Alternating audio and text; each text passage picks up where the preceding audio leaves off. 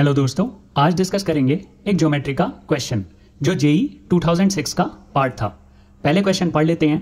हमें दिया है एक आइसोसेलेस ट्राइंगल जिसका एक एंगल है 120 डिग्रीज और इस ट्राइंगल के इन सर्कल का रेडियस है रूट थ्री और पूछा गया है ट्राइंगल का एरिया तो शुरू करते हैं। पहले आइसोसेलेस ट्राइंगल एबीसी को ड्रॉ करते हैं, जहाँ A B is equal to A C दोस्तों angle A is equal to 120 degrees given है। तो एंगल बी और सी बने 30 डिग्रीज के बराबर।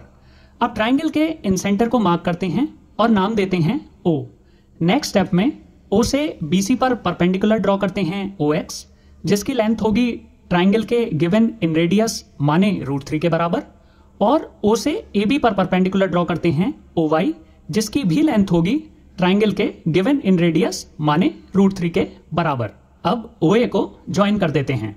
दोस्तों, क्योंकि ट्राइंगल एबीसी पॉइंट ए के अबाउट लेफ़्ट और राइट में सिमेट्रिक है। लाइन ओ एक स्ट्रेट लाइन बनेगी।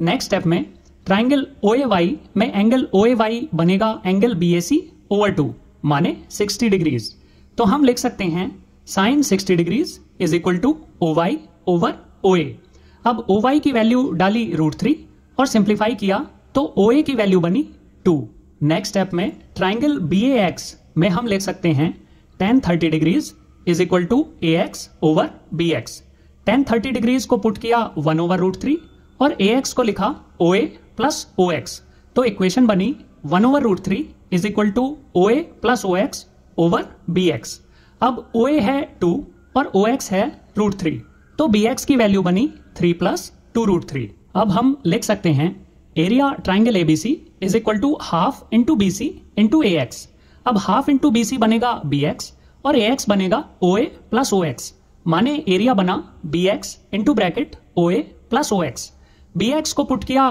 three plus two root three O A को पुट किया टू और ओ एक्स को पुट किया रूट थ्री तो ट्राइंगल एबीसी का एरिया बना twelve plus seven root three और यही हमारा आंसर है। आशा करता हूँ आपको वीडियो पसंद आई। लाइक और सब्सक्राइब ज़रूर करें। मिलते हैं नेक्स्ट वीडियो में। धन्यवाद।